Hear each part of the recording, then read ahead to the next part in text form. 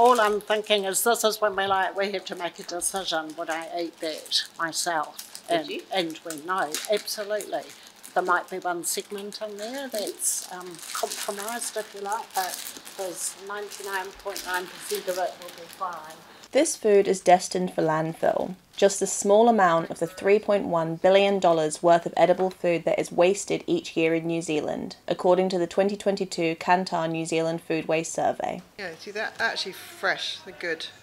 But in Masterton, the team at WaiWaste are working to change that. Here at WaiWaste Food Rescue we go out and collect local food from supermarkets and local producers and cafes and it's food that's uh, good enough to eat but not good enough to sell and we bring that food back here to our hub and we sort through it and distribute it out to community groups who supply it to people who need food and can't afford food.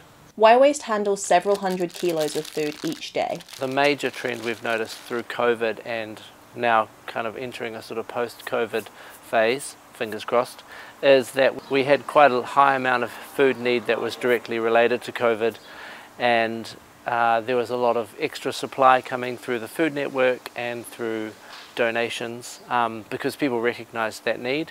And now that uh, supply is uh, dropping back down, and I think the expectation is that we go back to something resembling normal pre-COVID. The problem is that the cost of food during that time, particularly fresh fruit and vegetables, has gone up substantially. So people are not in a position to go back to where they were in terms of being able to, to afford food. So that's a real challenge for us to continue that level of supply because people can't afford to buy the food they could pre-COVID. Operations Coordinator Laura Garland says food determined as waste tends to include damaged packaging or food items nearing the end of their use by dates. A typical day for me at WaiWaste is arriving at 8 o'clock and um, Jeff and I just have a chat about the day ahead and what's on and a new volunteer arrives each day at 8.30 and fill up the van with cardboard and we head off to supermarkets for pickup um, to rescue the food that would otherwise go somewhere else. Garland and a team of volunteers help collect produce from around the region.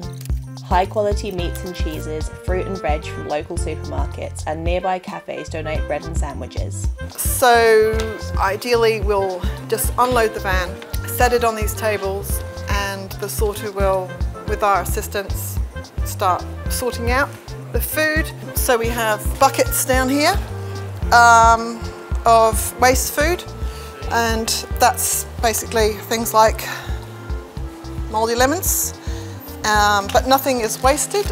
Um, all that food, waste food, goes to compost, chickens, ducks. And then we go off in the van again and pick up from the last supermarket and our biggest provider of rescued food, which is um, Countdown. Every morning, the team shows up at Countdown, where they are provided large quantities of all kinds of healthy food before sorting it all for dispatch to local organisations. Come back to base, sort the new lot of fruit and veg, and then we start weighing it out um, and reloading the van to deliver to the food bank and resource centre and the community kitchen. There is a variety of people that use a food bank.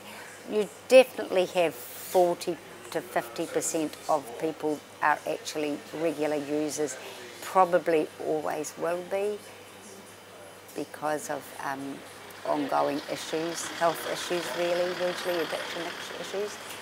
But yes, I think since COVID, since the economic times recently, we are seeing more people that work, they've got jobs, um, and they are they just haven't got any buffer. They just haven't got money for buffer. So the car breaks down, the washing machine breaks down, or the electricity bill goes up. Um, in the Wairarapa, we've had a housing shortage just like everywhere else. So people have lost their rentals and have had to move to another rental, which is more expensive. Yeah, so I guess we have seen, oh, we've seen more retired people coming in. Masterton Food Bank receives food donations from the public, sponsors, and WaiWaste, who are able to provide them with fresh food to bulk up their boxes. So the boxes, they, they are better than they, they've ever been, actually. Um, the community has also stepped up. After COVID, We used to get a couple of thousand dollars in just donations from the street. Over COVID, we got 20,000 just from the community donating that year. I mean, they were wonderful. And, and we've got regulars still that are paying every month out of their income, you know, which is a thousand dollars or a couple of hundred every month, um, an automatic payment. So uh, the community is much more aware of a food bank. It's not just the food bank users that benefit from WaiWaste. Local charities also rely heavily on their efforts. Uh, it's a big help. 90% of our food comes from um, WaiWaste here and provides a lot of our meals. We also give out boxes to people in poverty and people struggling. So yeah, it's a big, big help. Definitely a good move. Um, I think more, more towns should do something similar.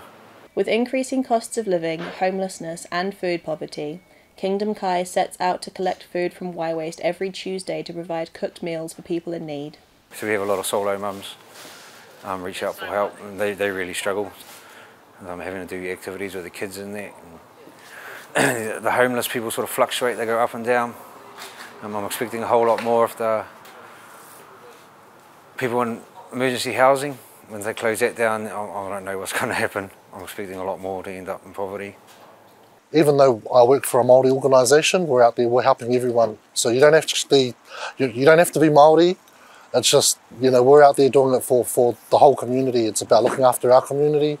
Um, the WaiWaste food that we get is, um, is, is, is huge. Like it does, um, you know, when you take this food that to these people, it's it's amazing just to see their faces and and just the the, the greatness of, of us being able to do that is, is yeah, it's huge. It's there's yeah, words can't really describe on on on what it's like when you actually go take something over to people and especially when they don't expect it and it's just given to them and, and yeah Y provides food to Rangitāne, which Molesi distributes to those struggling to get food on the table, and regular marae feeds for tangihanga. If you're a family that that are that are not struggling and stuff like that, you know, please, you know, and if you're a business and that, please support these local people like WaiWaste and stuff like that. You know, um, I know that there's a lot of um, places out there that do chuck food away, when actual fact there are people out there that will probably eat that food. Um, and I know to the businesses it's not that much, but it's to these people, it's it's life changing. You know, even if they're able to save twenty dollars to put twenty dollars towards their kids, or or or you know, just especially at the beginning of the year when education, a lot of parents at this time are buying uniforms, um, pens and pencils and stationery and all that. This is the time of of the year where it's needed the most because a lot of families out there are struggling. WaiWaste is primarily an environmental organisation, so our mission is really to capture food that would otherwise be destined to landfill. And so that's a real priority for us is to look at ways we can continue to keep food out of landfills um, because it, it breaks down and creates um, a lot of methane WaiWaste relies on local grants, governmental support, supermarkets, sponsorships, and an infrastructure grant from the Ministry of Social Development to set up as a food hub during the pandemic. Now they need to find ongoing operational funding to keep up the work they're doing. Ellie Franco, Local Focus.